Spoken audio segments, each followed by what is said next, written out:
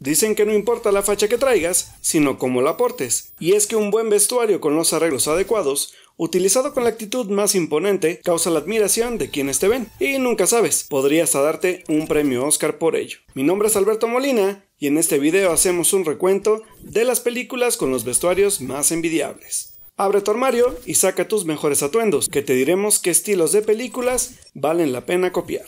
Número 10. The Grand Budapest Hotel. El director hipster de nuestra generación, Wes Anderson, sin duda ha impuesto moda a lo largo de su filmografía con el característico diseño de vestuario que le da personalidad a sus personajes, y una de las películas más útiles y envidiables en cuanto a formas de vestir es sin duda esta. La aventura del administrador de este hotel, ubicado en la ficticia República de Subrocua, el señor Mr. Gustav, y su leal concierge, Zero Mustafa, sin duda se ganó el corazón de muchos en esta trama de enredos por la herencia de una millonaria ancianita.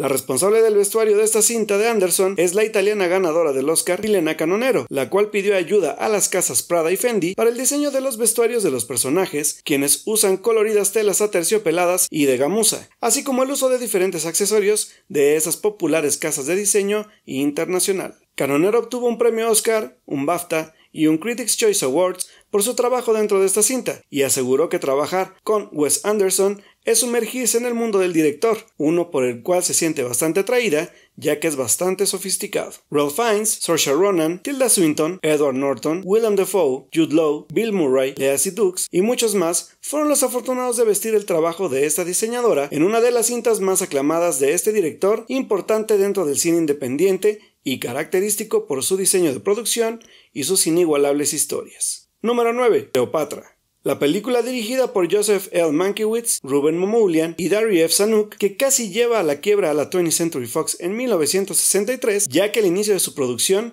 estaba presupuestada para costar solo 2 millones de dólares y terminó valiéndole al estudio 44 millones, unos 300 millones actuales para que te des una idea. Esta película se encuentra en nuestro noveno lugar por el increíble trabajo de vestuario que convirtió a Elizabeth Taylor en un ícono de la moda de aquel año. La cinta estuvo envuelta en muchas controversias. Primero, el amorío entre Taylor y su coprotagonista Richard Burton, pasando por la accidentada filmación que por costos y temas de salud de la protagonista tuvo que ser filmada en Londres, Roma y Estados Unidos. Y por último, la operación de emergencia que sufrió Liz cuando se le hizo una tacrotomía que detuvo la filmación seis meses y que incluso en el metraje se puede ver la cicatriz de la intervención realizada. De los 44 millones que costó hacer esta película, varios de estos se invirtieron en el trabajo de Vittorio Nino Novares e Irene Sharaf, quienes diseñaron 65 vestidos utilizados por la actriz en la cinta, más lo de los otros personajes, trabajo que les valió un premio Oscar en esta categoría. Telas finas y coloridas se pueden apreciar durante esta épica clásica, así como el detalle de las mismas y el arduo trabajo por emular la época egipcia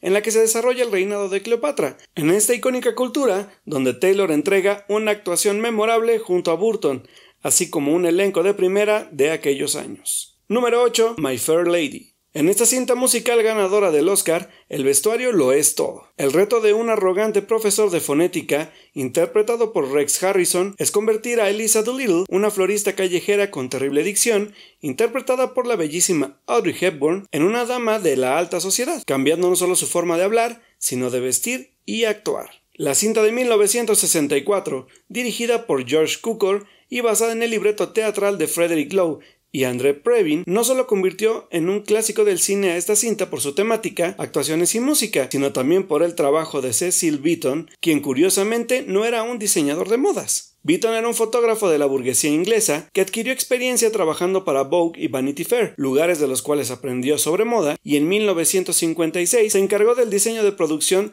de la puesta en escena de la obra en la que está basada esta cinta por lo que Warner Brothers no dudó en contratarlo para el área de vestuario para esta adaptación. En esta película, el artista inglés diseñó más de mil vestuarios de forma muy meticulosa y cuidando cada detalle, destacando los sombreros de ala ancha que usó Hepburn en la cinta. Este trabajo inspiró más adelante, en los 60, a Philip Tracy y Paul Porret. De florista callejera a toda una leyenda del buen vestir, Hepburn reconoció el trabajo de Beaton, quien mereció un premio Oscar en este ámbito. Número 7. The Fifth Element. Si no lo sabías, este clásico de ciencia ficción, dirigido por Luc Besson, es una cinta francesa con coproducción estadounidense. Obra de culto que nos cuenta la historia de varios personajes que buscan detener al quinto elemento, el maligno, que traerá caos al planeta Tierra en el siglo XXIII. Bruce Willis, Mila Jovovich, Gary Oldman e Ian Holm protagonizan esta aventura futurística que fue nominada a varios premios Oscar, pero lo que sin duda la distingue y hace única es su diseño de producción y vestuario. Las estrafalarias y coloridas vestimentas de los personajes de la cinta, que buscan un estilo futurista, fueron diseñados por el enfant terrible de la moda, Jean-Paul Gaultier, quien fuera pupilo de Pierre Cardin desde muy joven. Gaultier se caracteriza por sus estilos irreverentes, que van desde ropa callejera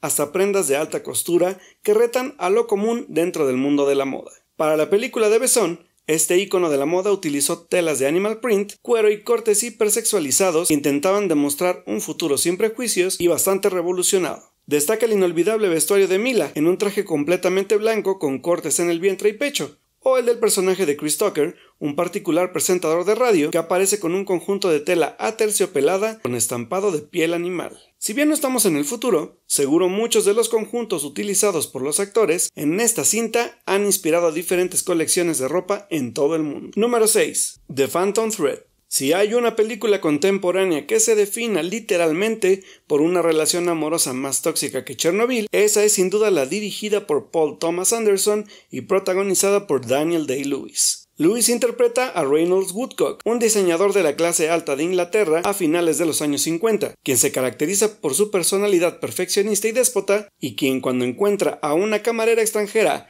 como su nueva musa y modelo, la invitará a vivir con él y se convertirá en su amante en una relación que será un estira y afloje entre sus tóxicas personalidades y el perfeccionismo de Woodcock.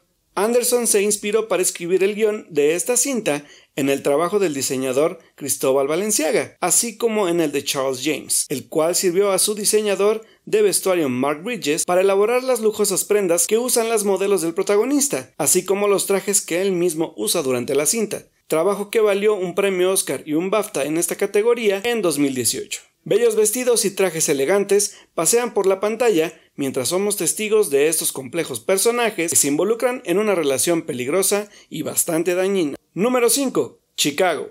El exitoso musical de Broadway dio el salto a la pantalla grande en 2002 bajo la dirección de Rob Marshall y protagonizada por Renée Zellweger, Catherine Zeta-Jones y Richard Gere. La fantasía musical de Roxy Hart, después de ser encarcelada por matar a su amante, cobra vida de forma alucinante gracias a una producción soberbia y actuaciones divertidas y entrañables. Una Belma Kelly ácida y mordaz, un Billy Flynn arrogante pero fácil de querer, y otros personajes secundarios como el de Big Mama Morton o el de Señor Celofán, Amos Hart, le dieron a esta cinta seis premios Oscar, entre estos el de mejor vestuario. La diseñadora Colleen Atwood que inició su carrera en Hollywood en los años 80 y quien ha participado como vestuarista de cabecera de Tim Burton, se encarga de representar la época dorada del jazz en Chicago en los años 20, con prendas de vodevil, vestidos satinados y trajes de diseñador que dotan a los personajes de una personalidad única en cada musical. Destaca el vestido de lentejuelas de Roxy Hart en el número de Roxy, la prenda de Catherine Zeta Jones en el número inaugural de la cinta, el frondoso y escotado vestido de Queen Latifah en su propio número, y los formales trajes de Gear como este peculiar abogado. Sin duda esta ganadora del Oscar parece tenerlo todo, incluyendo vestuarios que dan ganas de ponerse para una fiesta temática de aquellos años. Número 4. María Antoniette. Sofía Coppola se aventuró a filmar una cinta de época para contar la historia de María Antonieta Josefa Juana de Habsburgo Lorena, quien para los cuates es simplemente María Antonieta.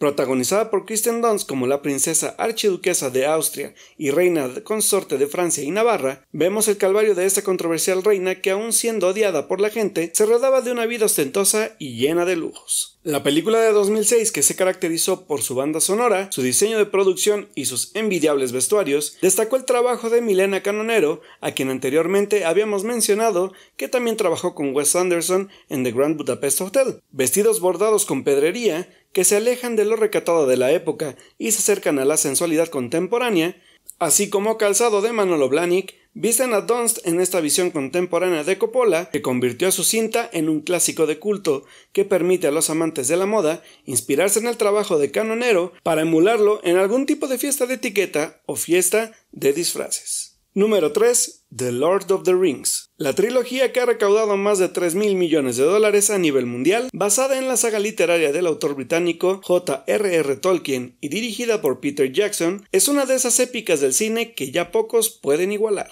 Con un presupuesto total de 281 millones de dólares para su producción, esta trilogía multiganadora del Oscar cuenta con un diseño de producción y de vestuario soberbio, que está inspirado en la época medieval. La responsable de vestir a los entrañables personajes de la Tierra Media fue la diseñadora de vestuario originaria de Nueva Zelanda, Nigla Dixon, la cual diseñó más de 150 prendas para cada cultura de esta tierra ficticia, mismas que tenían que hacerse a dos tallas, para los actores y otra para sus dobles. Al cargo de Dixon trabajaron 50 sastres, bordadores y joyeros, quienes tenían que desgastar su trabajo con el fin de representar el largo viaje de los protagonistas durante las cintas. Sin duda, uno de los trabajos más importantes dentro de esta trilogía, que se ha convertido ya en un clásico del cine. Número 2. The Devil Wears Prada. Esta cinta basada en la novela de Lauren Weinsberg no solo se convirtió en una de las chick flicks más importantes del cine, sino en una obra representativa del mundo editorial especializado en el mundo de la moda. Andy es una joven promesa del periodismo que cae en este mundo al cual es totalmente ajena, con el fin de obtener una intachable experiencia en esta profesión. Lo que no espera es que la jefa editorial de la revista para la que trabajará es una de las mujeres más poderosas de la industria y una muy difícil de complacer.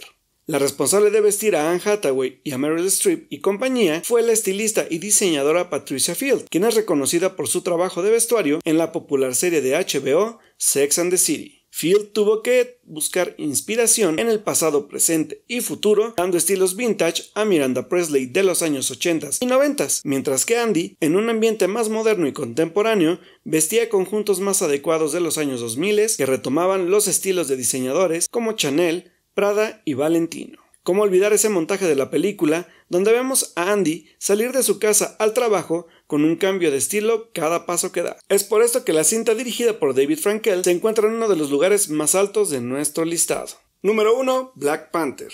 Wakanda por siempre la cinta que revolucionó el universo cinematográfico de Marvel por ser una de las primeras cintas contemporáneas en ser totalmente inclusiva en cuanto a personas de color, se coloca en nuestro primer lugar por el increíble diseño de vestuario. Dirigida por Ryan Coogler, esta cinta nos lleva por el viaje de descubrimiento del rey T'Challa mientras intenta salvar a Wakanda de una terrible amenaza. La encargada de darle el look adecuado a los habitantes de Wakanda fue Ruth E. Carter, quien se inspiró en las vestimentas de diferentes tribus africanas, así como en el trabajo de los diseñadores Issy McKay, Yves Saint Laurent y Donna Karan. Los vestuarios de los personajes de esta comunidad ficticia, donde predominan las personas de color, son influenciados por estilos de cazadores y militares, en el caso de los hombres, por el lado de las mujeres, las guerreras Dora Milaje visten largos vestidos de telas rígidas, mientras las mujeres con poder portan largos y coloridos vestidos entallados. En el caso de T'Challa, lo vemos usar largas gabardinas negras de piel o mantas tejidas de tipo tribal.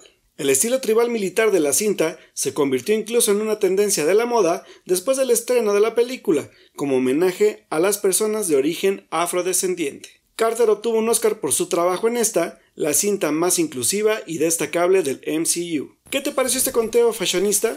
¿Qué estilo te gustaría copiar? No olvides dejarnos tus comentarios, darle manita arriba al video, suscribirte y activar la campanita de notificaciones para que no te pierdas ninguno de nuestros videos. Mi nombre es Alberto Molina y me puedes encontrar en Twitter como Alberto Molina, el Molina con doble O. Nos vemos pronto en otro video de Cine Números.